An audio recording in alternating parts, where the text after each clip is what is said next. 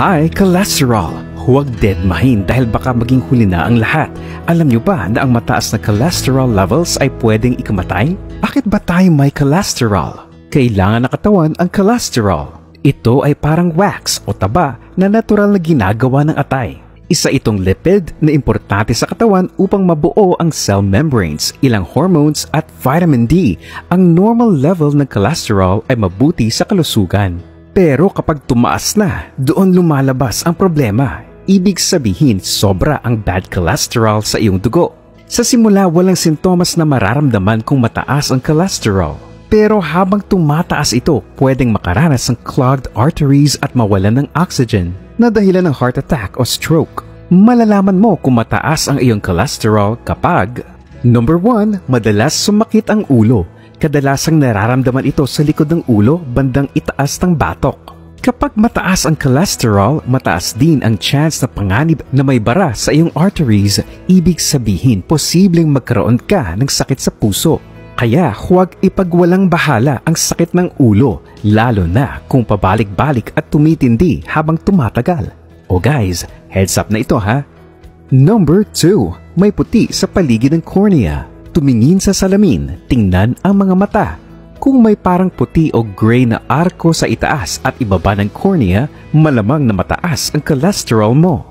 Ang tawag dito ay arcus senilis. Habang tumatagal at hindi nagagamot ang high cholesterol, magiging parang ring ang puti o gray sa paligid ng iyong iris. Lumalabas ito kapag mataas ang cholesterol at triglycerides na karaniwang na ipapasa sa pamilya mula sa edad na 45. Isa pa, kung may yellowish-white growth sa ibabaw at ilalim ng labas ng mata, senyales yan ng high cholesterol.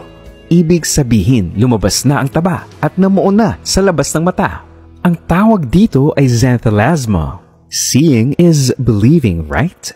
Number 3, sumasakit ang dibdib. Nararamdaman ito sa gitna ng dibdib, parang may pressure at pinipiga. Kadalasan tumatagal ang sakit ng ilang minuto, tapos mawawala.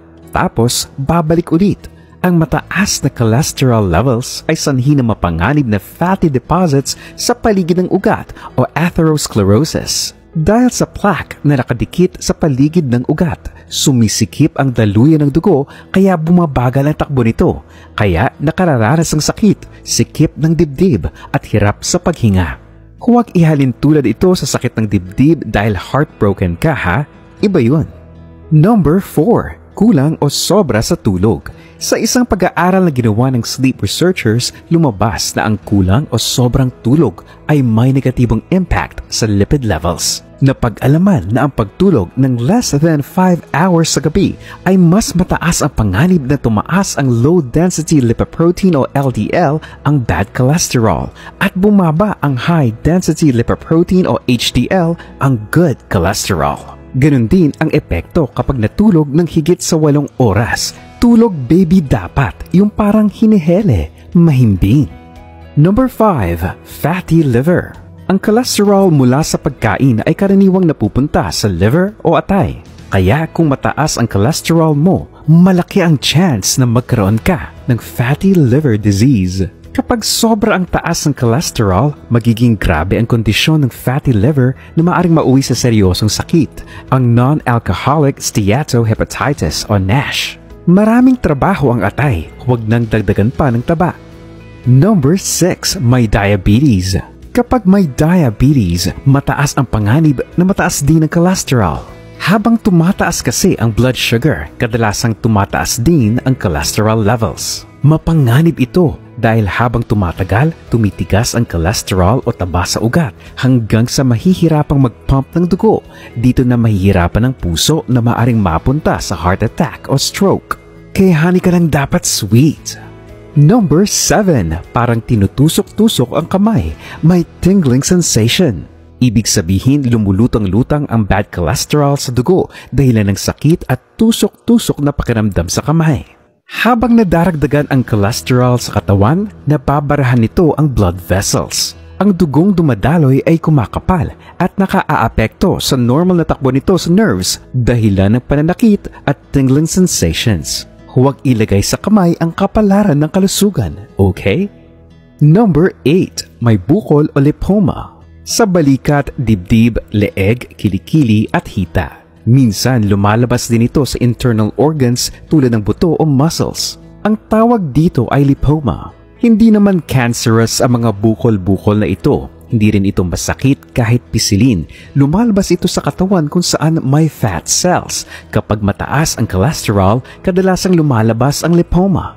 Dahil ito sa naipong dami ng cholesterol sa dugo, di baling bumukol ang bulsa. Huwag lang ang katawan, di ba?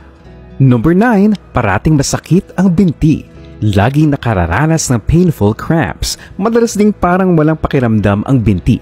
Minsan naman walang lakas ilakad. Mapapansin din na mabagal ang pagtubo ng buhok sa binti. Kahit mainit ang panahon, nakapagtataka na nanlalamig ang pakiramdam sa ibabang bahagi ng binti o kaya naman ay sa isang parte lang ng paa.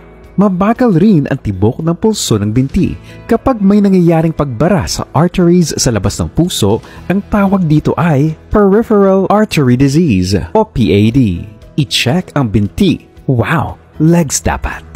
Number 10. May genetic conditions. Namamana o naipapasa sa genes ang isang dahilan ng mataas na cholesterol. Ang tawag dito ay familial hypercholesterolemia. Ang taong may ganitong kondisyon ay may 300 mg per deciliter o mas mataas pa ang cholesterol levels. Kapag ganito kataas ang cholesterol levels, makararanas ang sakit na xanthoma, isang kondisyon kung saan lumalabas ang kulay dilaw na patches sa balat at bukol sa ilalim ng balat. Know your genes. Warning! Huwag i-take for granted ang mga senyales at sintomas na ito dahil ang mataas na cholesterol levels ay walang senyales. Lumalabas lang ang mga senyales at sintomas na nabanggit kapag over the top na ang cholesterol levels mo. Takbo agad sa doktor para mabigyan ng mabisang lunas. Huwag patagalin, please, dahil malalaman mo lang na mataas ang cholesterol levels mo kapag nagpa-lipid profile ka